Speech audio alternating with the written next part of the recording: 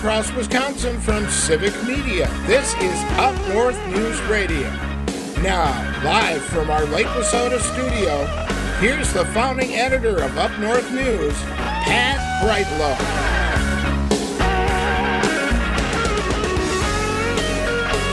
Hey, good morning. Welcome back. It is 7.06 on this Thursday morning, January 4th, 2024. And again, coming up this morning, we'll uh, bring back our friend, OBGYN, former candidate, Kristin Lyerly, who is going to kick off the new year by talking about ways to lift up and encourage women who might be considering big public changes in 2024. It might be a run for office, but it might be other ways and to get involved in improving the state of our communities and our political bodies. So, Kristin will talk to us about that coming up at the bottom of the hour. Mark Jacob will join us in just a sec. Normally, our Friday 7:30 guest uh, joining us a day early. We've got a couple of special guests tomorrow related to the state supreme court throwing out the current gerrymandered maps, and also on the occasion of the upcoming anniversary of the January 6th uh, insurrection against the government of the United States. So we'll talk to Mark Jacob in just a bit. First, seven o'clock temperatures around Wisconsin go like this. It's uh, 18 up here in Chippewa Falls. Hayward's at 16. Park Falls 15.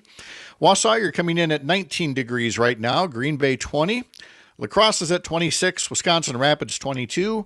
Oshkosh 24. It's 20 degrees in Madison. It's 25 right now in Waukesha.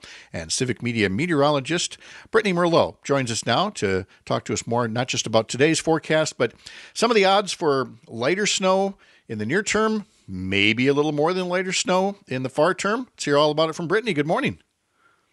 Good morning. Yeah, we've got a mix of all wonderful Wisconsin weather headed our way. you sure do. All right. So when when might we start seeing some of this? All right. So today we're pretty nice and calm. We've got a high pressure moving in. So this is the most sunshine we're going to see in quite a while. So if you love the sun, get outside and soak it up today. It's a little crisp and cool though. The teens right now, with the winds, it really feels like the single digits. So it's going to smack you a little bit as you walk outside this morning. But highs today climbing into the upper 20s, beautiful and sunny, nice and calm. Tomorrow we'll start off bright and beautiful, but we'll start to get cloudy, staying cool still into the mid 20s and low 30s. Our first shot of some snowfall hits the northern part of the state. This kind of swipes across Lake Superior, so of course the South Shore, the snow belts, and the northern counties, Eau Claire, Wausau, we might get a little bit of that, but anywhere from one to three inches of snowfall expected. This will be Saturday and winding down on Sunday. Now, chances of some more pockets of sunshine do move in on Sunday, but then the next system starts to push towards the Great Lakes. This is the one that everyone's starting to talk about. The big snowmaker. Where's it going to go? What's it going to do? Well, the models have been all over the place so far. Now they're starting to line up, and the track is wanting to take the storm south and towards Chicago mostly. So the bigger hitting snowfall, not really headed towards Wisconsin. Now it could hit towards Racine, Kenosha, uh, Milwaukee, but of course with that lake and the warm temperatures off of that, we could see more rain mixing in. So it's still a big storm. It's still a few days away. Things can change, but as of right now, it's looking to go south at the moment. All right, we'll keep uh, keep an eye on that. Uh, but, but but more importantly, if you take anything away from this forecast and why we love having Brittany here, when she tells you, "quote the wind is going to smack you a little bit," you'd better take this seriously. so, hey, Brittany, yeah. thanks so much. Have a great day. Thanks you as Talk well. To, all right, talk to you tomorrow. Uh, Brittany Merlot, Civic Media meteorologist uh, there, and now Mark Jacob uh, joins us uh, from Chicago area to Chicago. What do we say? Chicagoland? Is that what we call it down there? Some some people say that. Okay, but, some or, or, they say you know Metro Chicagoland, which is redundant. That really is. yeah, yeah. I'm actually from Evanston, which is you know but the bordering suburb north of Chicago. Ah, see, the thing here is that there's obviously Madison, Milwaukee, and then when people say, well, what do you call the rest of the state? And people have tried to use words like, you know, upstate, outstate. Mm. Nobody likes to hear outstate. I've always liked the term greater Wisconsin because it's it's out there and it's a pretty great place to be. But there there is no one thing the way that you have like, you know, Chicagoland or the Twin Cities. So, you know, we have we have things to work on here. Hey, thanks for uh, being flexible and talking to us uh, on a Thursday here. It's already been a, a busy week, of course. But I want to start with the ways that the news is busy in ways that don't necessarily reflect on what is truly important in terms of of people and policies and issues. And as you know, what really triggered this for me was um, a, a a long Twitter thread put out by uh, David Roberts, uh, who is a, a, a news a newsletter writer, uh, writes about politics and energy and things like that. And I, I, couldn't possibly read the whole thing, but you and I both exactly knew what he was talking about when he talks about the controversy at at Harvard.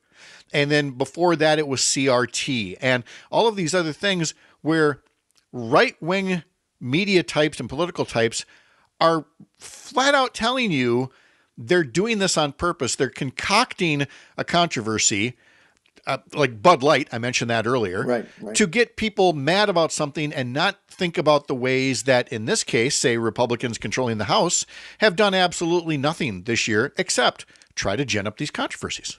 Well, right, right. You know, they, and and let's you know let's just say what's really important here. So we're like about two weeks away from a, a deadline as far as part of the government having to shut down. Yet the House Republicans decided that they were going to go on vacation for three weeks. So you know, to me, that's a lot more important than the, this kind of ginned up stuff that uh, the guy, the main guy who's trying to push this is a right wing radical named Christopher Rufo.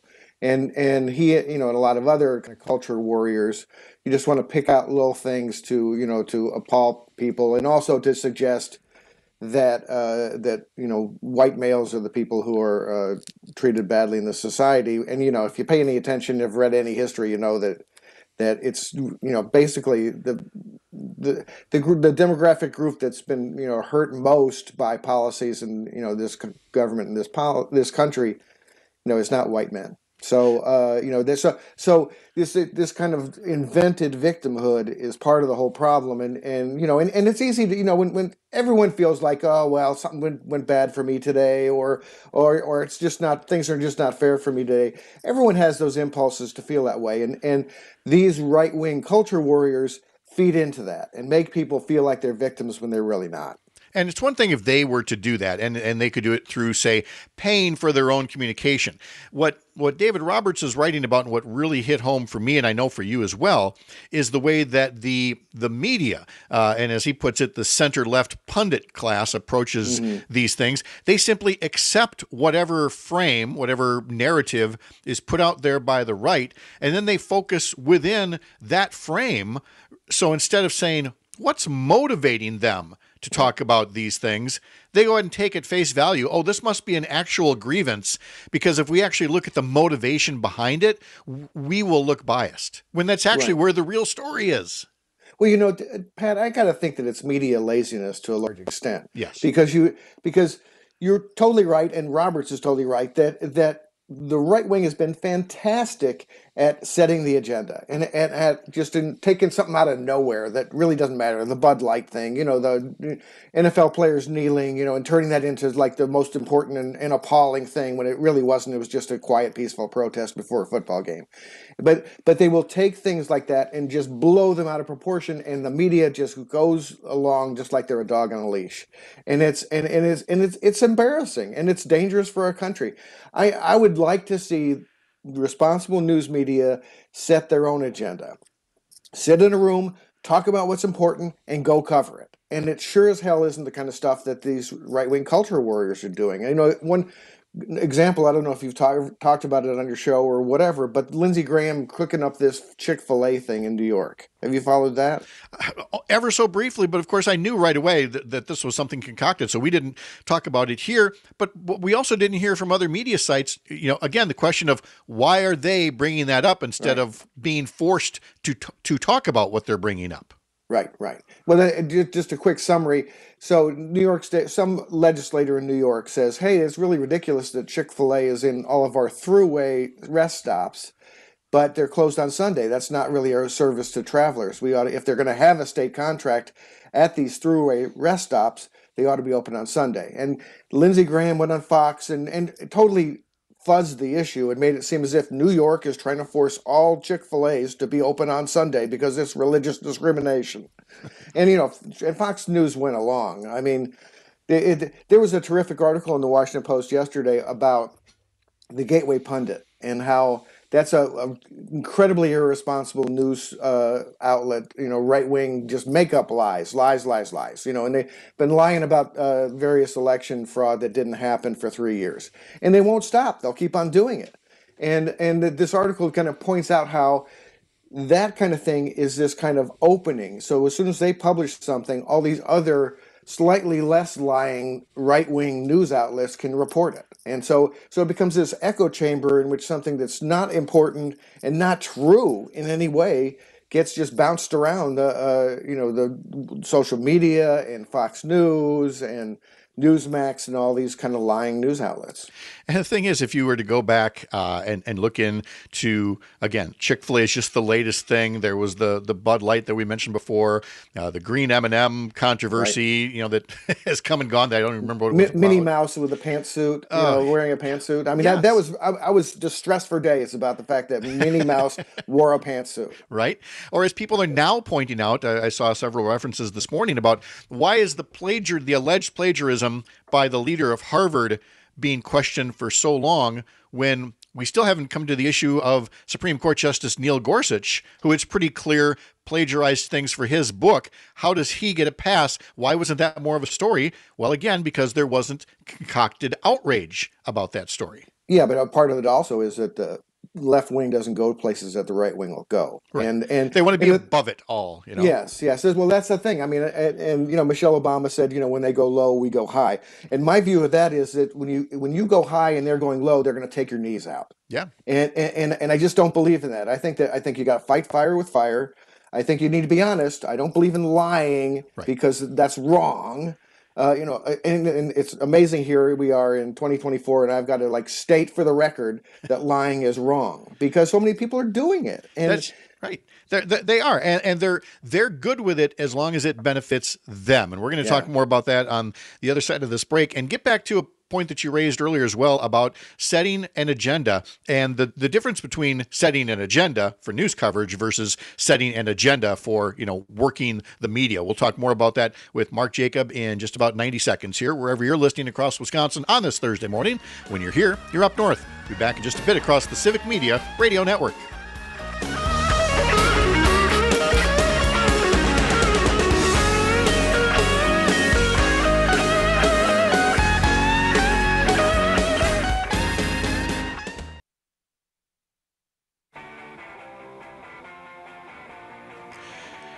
Still ahead, Kristin Lyerly at 7:30 and Luke Mathers at 7:50. But Mark Jacob is with us uh, right now for the next uh, couple of minutes here. We were talking, uh, I was talking earlier this week about how Up North News is four years old this week, created by Courier Newsroom. Uh, we are the digital media outlet for them. Uh, we have uh, outlets in several states. And one of the things that's different about us is that we feel like news consumers deserve to know the values that shape a newsroom's decisions. And ours have always been on our About page, upnorthnewswi.com slash about dash us, and you'll find it there. And, but it's not just the values, which again, you cover your news rooted in facts. It's like, Mark, the conversations I used to have as both a news anchor and a politician where they people could ask me anything. I'll tell you what I think. I'll tell you the facts as I know them. I will never lie about them, which is not what other people can say. Then when it comes to an agenda, I, I agree with you, and it's something I, I've wanted to do um, quite frequently, is to set an agenda, not like we're going to make this thing happen, but we're going to cover this important issue and tell you what people are doing to make it happen or not happen. Is is that kind of along your same thought line in terms of what you know, how newsrooms should have an agenda instead of chasing the next shiny object? Yeah, exactly. And and and what I'm talking about is is news leaders of a news organization sitting in a room and and and not not saying, okay, how are we going to get Donald Trump? That's not, and that, that doesn't happen. I mean, you know, I'm, I'm sure that a lot of conspiracy theorists want to think it does. It doesn't. But what they ought to be doing is sitting in a room and saying, "What's important to our readers? What's important to our community?" And uh, and when you look at that, you might want to say, "Well, you know, the democracy seems to be, you know, hanging on by a thread here, uh, and the guy who's running for president from a major political party has decided that he wants to be a dictator." and uh, has decided that you know that he's called for the execution of a former general. He's uh, you know talked about terminating the Constitution. These are all super serious things, and there's almost like nothing more important. So let's go cover that. And and that's not again, Pat. This is not us deciding to do it because you know just because we want to go get somebody. This is us concluding that what's most important to the safety and freedom of our readers and our, our viewers, and then making decisions based on that. Also, this whole thing, and I'm glad you pointed out the courier thing as far as as as making clear what the values are, because every news organization has values. I don't believe in media objectivity. I don't believe it exists. I think some people pretend it exists, and that's why you see the New York Times kind of and the Washington Post and other major media pretend that the Republicans are, are telling the truth when they're lying. They think that that's fair if they give them a say, even though they are just passing on things they know are untrue and uh, and that's false objectivity, and it's dangerous to our society. Much better is uh, when news organization says, as Courier does, you know, you know, I believe, you know, when uh, that everyone has should get health care in this country. I believe, you know, in women's rights and and various things like that. And uh, because I was a news, I was an editor who assigned reporters to do things. I made value judgments every day based on what I thought the readers wanted and what they needed. Both things we need and want. And uh, and and I wasn't covering every story. I didn't go out tell a reporter go cover everything. I picked and chose, and that is a value judgment. That's not objective. If I was objective, I would have said, well, just go cover everything. But that wouldn't have worked. We make value judgments every time in the news business, and that's good if we make the right judgments. Right, and in in the case of Up North News, for example, if you go to the about page, one one of our values listed here is is called a strong democracy right. saying access to the ballot box is essential for Wisconsinites to have a say in how our state is run. Um, a strong electorate is an informed electorate, not one divided by fear and lies. A free press is only possible through democracy, so we will not take a both sides approach to those whose words or deeds are hostile to free and fair elections or who threaten the daily norms that allow our government to operate efficiently and serve all the people. In other words, we're not just going to say, you know, so and so says we should, you know, slash government, or we're going to say, well, slashing government would hurt people in this way because right. this is what government is supposed to do to function efficiently, not democratic efficiently, not republican efficiently, just efficiently for all. And and this is really important, and I think Courier gets this also, which is that is the idea that let's base it on what's best for the, the public. Let's not base it on what's best for the politicians. You know, the, don't turn everything into a horse race. Don't like, you know, oh, this is just an interesting little narrative about what DeSantis is saying about Haley, who's saying this about Trump. It, bring it back to what happens to real people based on these policies. Bring, make it, make your news coverage centered on actual human beings who are affected by these policies, not turn it into some stupid video game that takes place in Washington D.C. Yeah, uh, and, and, that's the thing is is when you turn it into a, a, game, and that's what it is. And that's you know, as we get to um, you know one of the stories making news just uh, yesterday and today. It's that all of these Republican members of Congress are at the southern border again. You know, talking as they always do about those immigrants and open borders, but Mark, there has been no shortage of ways that, that members of both parties have been trying to create bipartisan immigration reform, and yet they're taking time off for a photo op at the southern border, and that's what they're always, always going to do. Well, and it shows that on that particular issue, Republicans don't want to solve the border crisis. They want the crisis because it, they want to exploit it. They don't want to. They don't want to solve it. There was a quote yesterday from uh, congressman named Troy Nehls, and he said, "I'm not willing to do darn much."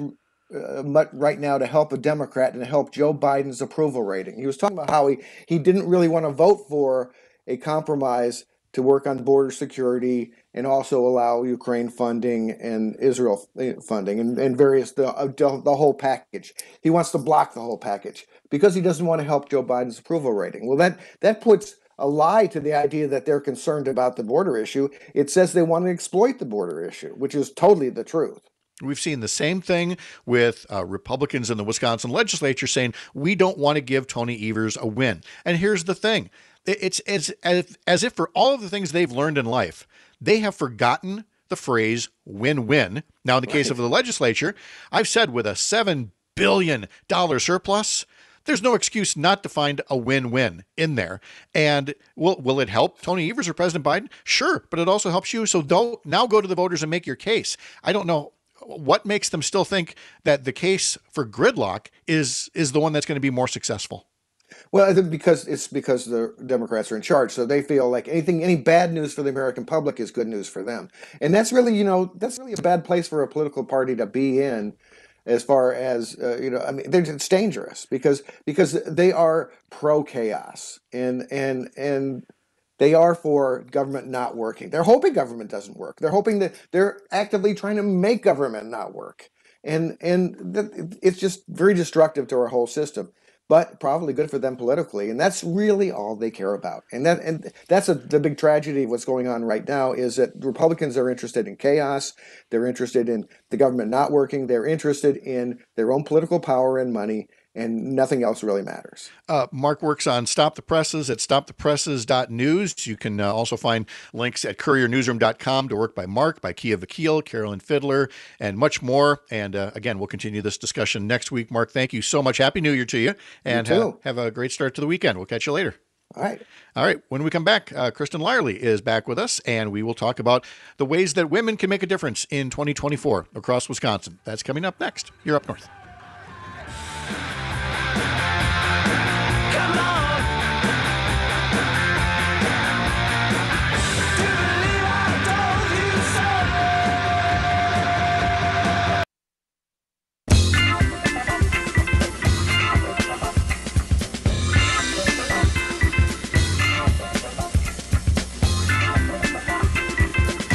So I, I asked Greg if he could uh, help with a bit more of the the bumper music and some of the other functions, and he says, "Oh, I've got something for Kristin here."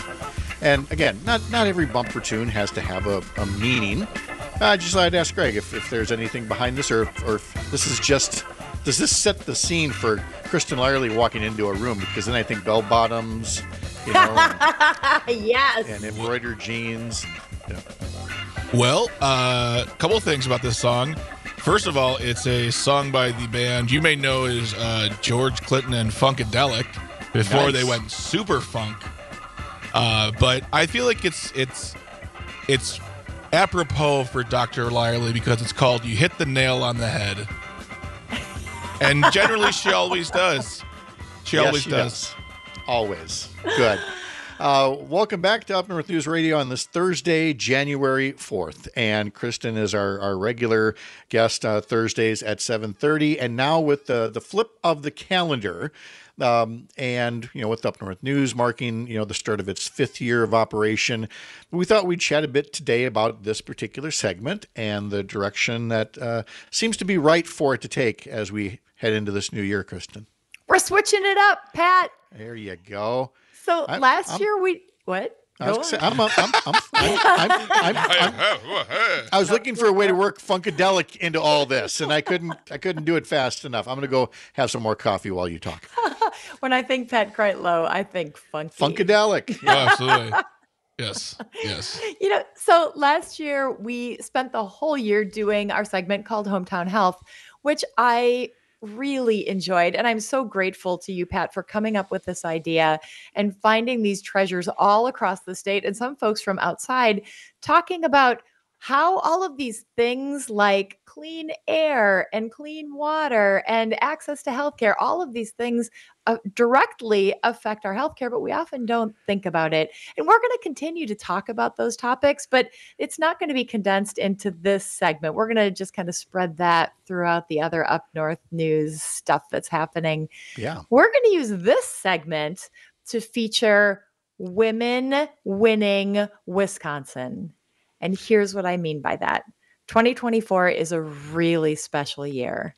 There is so much at stake for all of us across the country. And Wisconsin really is the epicenter when you look at the potential with our maps changing, the possibility that we may again be actually electing the people who we want to serve us instead of just being held hostage by our maps, that people are willing to step up again and serve. This is a time that is ripe for that change that we want to see.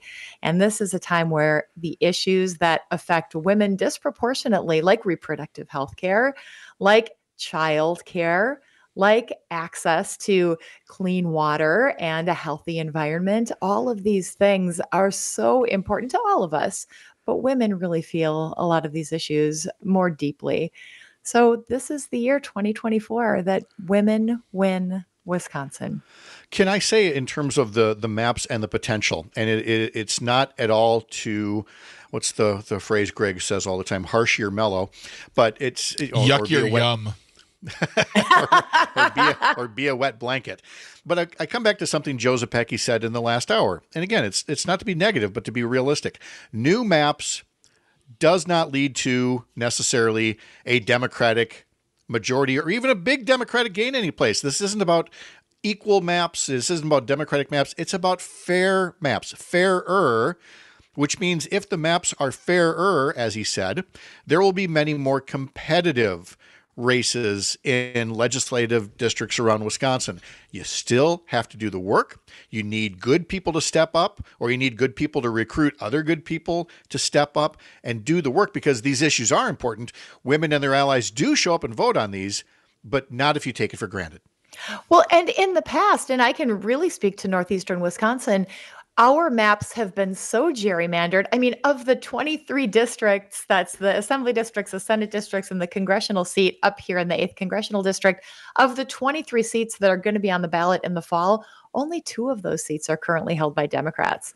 And we know that this area is much bluer than that. So we finally in this region are feeling hopeful. We're looking at these districts and recognizing that if we do run, we could potentially win if we're willing to put the work in. So we're we're seeing that people are starting to step forward, starting to dip their toe in, starting to have conversations, and that's what we really want to encourage across the state. If this is something that you woman or man, and this isn't just about women, but we definitely want to make sure that we are um, highlighting women because women have additional barriers to serving that men don't see. So, just to give women a little bit of an extra boost as they're considering a potential candidacy. You know, you mentioned the, the the, districts in Northeast Wisconsin, for example. I, I think you were the one that that showed me how there's three different state senate districts, and when you look at the three Republican senators. They're they're all basically within a stone's throw of each other, and then the districts go way off in, in different directions to make sure that those three in that cluster could basically have three separate, you know, Senate districts. And you see it elsewhere around the state. And again, we we've long since established that these maps are rigged, that they're corrupt. But new maps do mean that in some some new districts, uh, are going to turn out to have no incumbent. Mm-hmm. You're going to be an open seat, and the opportunity is there. It's it's a lot easier to run for an open seat than to run against an incumbent of either party. We've always known that. It's really exciting. And when you look at the number of women that are currently serving in the legislature, there are 41, which is the most ever. The first time we had women serving in the legislature was 100 years ago. Back in 1925, there were three women, and now we have 41. So I think it would be helpful to step back for a second, just for our listeners. I mean, we know this information, but our listeners may not be as familiar. Our legislature is a full time legislature, it is a big job. There are 33 senators, there are 99 assembly seats. It's there are 3 assembly seats per Senate district. Eight of the 33 senators are women. 33 of the 99 assembly reps, one third, are women. And some of those notable leaders are familiar names. You hear them on the show here. Sarah Godlewski, who actually originated the name Women Win Wisconsin. She was excited to share it with us, and I'm sure she'll be popping in at some point. Sara Rodriguez, our lieutenant governor, um, former assembly person from uh, the Milwaukee area. We've got incredible leaders in the Senate with Diane Hesselbein at the helm for the minority, Melissa Agard, who just stepped back, Kelda Roys, of course, great friend of the show. And in the Assembly, we've got Greta Neubauer, who is leading the charge, Lee Snodgrass, Jill Billings, Kristina Shelton, Lisa Subeck, these women know how to lead. And not only do they lead, but they mentor, they encourage others to step up. And that's really what it takes to get more women in leadership. Can I tell you how much it frightens me every time we start to read off a list of these incredible women? Because I'm always afraid I'm going to miss one of them. Because, and, yes. and and and it's not that they you know they don't need to hear their own names but they they they've earned it they've earned that respect that comes with stepping up and being leaders that way and, and to to Sarah Godlewski for a moment, uh, and, and I, I do want to toot our own horn over here for a second since we're celebrating our, our four year anniversary. But it was about a year ago that Sarah Godlewski um, was you know was not in office. She was the now former state treasurer. You know, she had run in the Democratic primary for U.S. Senate. And what she was doing about a year ago, right now, before she actually created Women Win Wisconsin, was she was part of Up North News Radio in the morning and and occasionally helping us meet women in you know hometowns across the state and lifting them up and showing that you know there are people in in every hometown that are leading the way. And this is you know now she went sarah went and got herself this you know new gig as secretary of state. I guess that can compete with morning radio. I don't know. Yeah she's busy. she no but she's she's remarkable that way. Then of course did the women win, win wisconsin group. And now uh, i'm i'm just so thankful that you are now essentially taking that baton into 2024 and helping elevate these voices, elevate these stories. Uh, it's our obligation, I think, as leaders to promote future leaders because we all stand on the shoulders of the people who came before us. And, you know, speaking of that, if you look at the history of the assembly, we didn't have an African American woman in the assembly until 1977. And do you know when we first elected a Latina? To the assembly. Do you know what year it was? Nope. 2011, Pat. Wow. It was Jocasta, Z- I'm going to say her name wrong. Zamar Zamarripa. Zamarripa. Mm-hmm. Yep. Thank you. Yeah. and hey, trivia question: How about the first Asian American woman? Do you know when she was elected? Francesca yeah. Hong. Yeah, French, our friend Francesca Hong. I so, love her. Oh, no, man. I love her more. So okay, fine. I, I, love her the most. oh, okay, fine. You win this one, Lyerly. See if you get music now, people. but look at how we're building. Look at how we're acknowledging. And in the last few years, how we have been able to not just elect more women, but elect more women from different populations with different perspectives. And when you look at the Senate, it's even a little further behind. We didn't have a woman in the Senate until 1975. Whoa. Yeah. Yeah. But in 2015, Mary Lazich was elected Senate president. She was the first woman to serve as a presiding officer of either legislative house. We haven't had a woman speaker in the assembly yet, but I feel like it's coming. It's coming I soon. Too. I do. It, it, it again going to take a little work because these things don't happen by themselves. And by the way, it's not just stepping up and saying, I want to run for office. There needs to be people involved in fundraising and in promotion and get out the vote efforts. Uh, you know, my my first campaign, you know, when I was uh, inaugurated to the Senate, doing the math 17 years ago this week. Yikes, I feel old. Um, but that was that was a campaign, you know, uh, run by uh, you know uh, Kathy Daggs Devine uh, and uh, so many other women who have led the way on these things in, in terms of not just being the candidate, but getting the work done behind the scenes. Mm-hmm. Well, you know, we're so good at getting the work done behind the scenes, but it's harder for us to step up and be the candidate for so many reasons.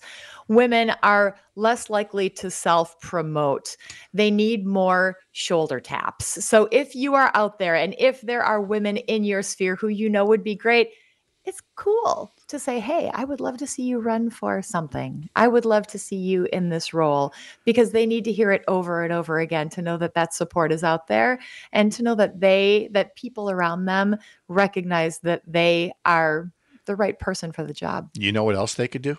they hmm. could send us an email, radio at upnorthnewswi.com, and tell us. Yeah, uh, say, hey, there's this person who's thinking about running. I bet they'd be a great guest on your show. Oh, or, yeah. Or I'm thinking about running. I think I'd be a great guest on your show. because what I always say is, you know, we're this is not the psychic news network. You actually have to let us know you're out there. And then, then we can take part in things. Uh, I've got one minute left, so I'm, I'm, I'm cheating you on this, but I do have to ask quickly. The Fifth Circuit Court of Appeals uh, somehow or another made the ruling this week that emergency care abortion is not the same thing as essential life saving care. These are Trump appointed judges. I'm betting you disagree. I couldn't disagree more. I would like for these polit- these judges who are politicians to sit in the emergency department and help the doctors determine what they think is life-saving and not. I mean, this is absolutely ridiculous. When somebody presents to the emergency department, regardless of what their situation is, they're having a stroke, they're having a heart attack, they're vaginally bleeding because they are suffering from a miscarriage, they deserve to be treated. Period. Yeah, full stop. And yet, that's not what this is saying. So, of course, uh, this this will end up in the Supreme Court. And again, we'll get back to micromanaging, you know, women's health, which is, uh, you know, really. Uh, I, can't believe we're doing that in this day and age. One more quick note: uh, this was an ABC News special about women. It was called "Delayed and Denied," all about women uh, who were denied um, care and what could have been, you know, life-threatening conditions. Uh, they are still running that on Hulu now, is where it streams, I guess. And you were part of that as well. I was. It's going to be on broadcast on Friday, I think. It, I did see that right then. Yes, tomorrow it's ABC's going to going to rerun it. Yeah, it, please watch it. Please, mm-hmm. please watch it and watch it with people that you love. It is heartbreaking. They talk with women from all across the country who are from banned states who were denied care because of political efforts in their states and to hear their stories and the stories of their partners who support them it, i i i see this all the time i cried i cried We- the entire time Yeah, prepare to, but it, it's an important message. Text message from a listener up in the Hayward area who says, You have an occasional guest who should run for something. Dr. Lyerly. well, we, we, could, we couldn't agree more, but we'll cross that bridge when we get to it. Luke Mathers next. You're up north.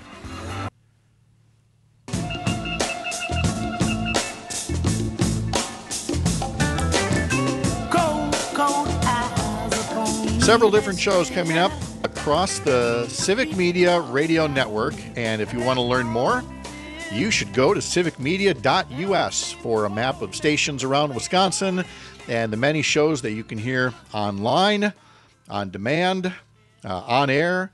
Let's see, I've got another one coming into the text thing uh, from somebody listening to WXCO. It's always when Pat has Kristin on that funky audio stuff happens. oh is that like not fun like not good funky Well, someone I- said I- multiple voices. I'm like, what are you talking about? Uh, it could be that they hear. Can you imagine if if they could hear the voices in my head as well as the voice coming out of my mouth, or any of us as we're doing this? And you know what? Someday, someday might be 500 years from now, but that's going to be able to happen. you're, you're listening to somebody. You're but the only also- one laughing about this, hearing- Pat. You're the only one I'm laughing about this. Laughing because I better be dead by then. But boy, oh boy, Mr. Mathers, how are you? Good. How you feeling, Uh, buddy? Uh, better than yesterday, that's for sure. Oh, on the no. mend. Uh, yeah, I unfortunately got hit with uh, some kind of bug. I was, so fortunate to avoid all the sicknesses with the niece and the nephews and all the Mm-hmm. family events over the holidays, and then. Uh, for whatever reason, I got a 24 hour thing. Hopefully, Oh. it's a 24 hour thing. Uh, but I think it's worked its way through the system. So I, I feel very, very happy that uh, my uh, younger grandkids, uh, they typically do give me a, a nasty head cold because they always seem to have one themselves from daycare. And I didn't get it this time. Sherry did. Sherry got a nasty head cold. But I, I figured fate was, fate had something else in store for me which is what came yesterday, which led to our discussion off the top of the show with Greg about how, after everything that I had done at the doctor's office yesterday, I remain convinced as ever that if men had to get pregnant and put up with the, the level of pain down there that women did, human race would be gone in no time. No time flat if men had to be the one to get pregnant. Look how Kristin's just kind of nodding like no "Yep, one's disagreeing with you, Pat. No, no, just leave that out there where it lays. yeah, yeah yeah. let's just reflect on that for Yeah. a moment No, because again, you know, as the nurse is apologizing, I'm like, yeah, you know who my wife is. She's an OBGYN. I'm not going to complain about this even a little bit because again, men's health is very important too, and that means mm-hmm. sometimes getting poked and prodded and that's that's just what you do. Or in the case of Mr. Mathers, you rest and you take it easy because he's he's still he's still young. He's still youthful. He can fight this thing with And a little bit of rest. and That's where I was capable. going for Greg. Yep, I knew that And you fair. suck up to the boss that kind. way. So, yep. Mr. Mathers, what would you like to tell us about in civic media world these days? Uh, you know, weekend shows or things in the Anything new coming up? How's that? How's that? How's that? Uh, well, we've talked about Jane Matenaer getting a great new show in the mornings with, uh, also with Greg Bach. Um, I, I was I was thinking more like you know we we haven't mentioned nearly enough the the new uh, Pete Schwaba experience, Nightlight with Pete Schwaba. Yeah, well, uh, right after Pete launched, you know, somebody decided to pack up his bags and head south for the winter. So we haven't had a lot of Thursday opportunities to talk about it yet. Yeah. Oh, there's Wow. another one. Wow. Oh, I had to make sure I got my jab in for, uh, for, for the folks who might have missed that, oh, you might have oh. missed it. I don't know how you could have missed it, but I went on a two week vacation and I have not heard the end of it yet. So, Uh, no, but Mr. Schwaba, uh, out of our WGBW studios up in Green Bay, doing an excellent job with Nightlight with Pete Schwaba every weeknight from 8 to 10 p.m., covering a lot of the lighter side of news, entertainment, culture, pop culture, uh, what's going on in the movies, television, all of those things. Uh, so Pete and his producer Conrad have been having about a month worth of shows now, and we're really excited. Uh, It's it's been a terrific show. If you haven't yet tuned into Nightlight from eight to ten.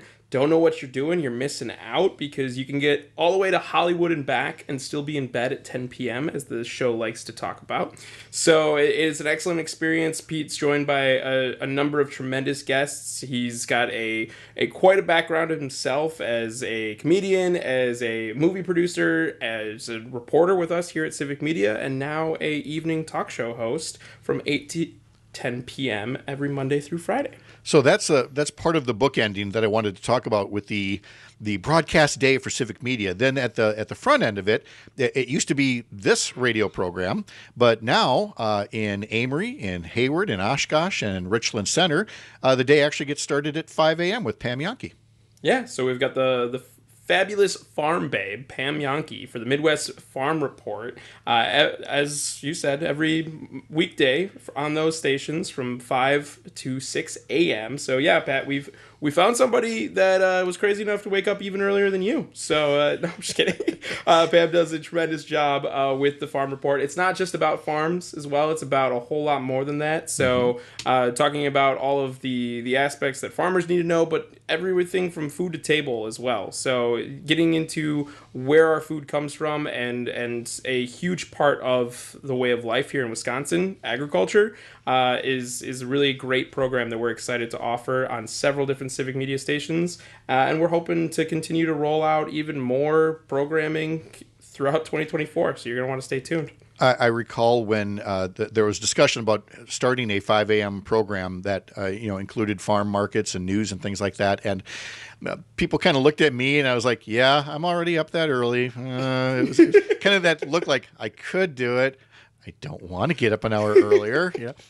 Because I, I look at my old, my, one of my old uh, ten o'clock co-anchors now does the on TV now does the early morning uh, shift, and he gets up at two thirty every morning because their newscast begins at four thirty. What time do you go to bed? I mean, Uh, yeah. 6 p.m. Well, that's what I used to do when I was doing morning radio. I'd go to bed at 6.30, 7 p.m., you know, in order to get up at 2.30, 3 o'clock. And I'm not saying I, I couldn't do it. I, I just don't want to if, I, if I could possibly avoid it. But, There are definitely some days in the winter where I could be in bed at 6:30 when oh, it is oh, yeah. dark. Oh, these 4.30. days. Yeesh. Yeah. when you can beat last when you can beat when you can beat you can go to bed before the sun goes down. Oh, that's a good feeling. Oh, yeah. and once again, uh, Dr. Lyerly just kind of sits and stares at us as somebody who has to be awake at all hours and might be awake for 36 hours straight. And this this segment is not designed to get sympathy from Kristin Lyerly in one area or the other, you know. I am not looking for sympathy. I love my job. Also, I- I, I- would think Dr. Lyerly would give would want us to get good sleep and would feel bad if we don't get good sleep. Thank you, Greg. Yeah. 100%. gosh, Everybody Pat. He's gets also working to get that 24-hour broadcast clock so that no matter what hour Dr. Lyerly is awake at, she'll have some excellent programming to listen to. Or, or can Nice- call in and, and co-host. Nice Nicely pivot, done. boss. Nice pivot.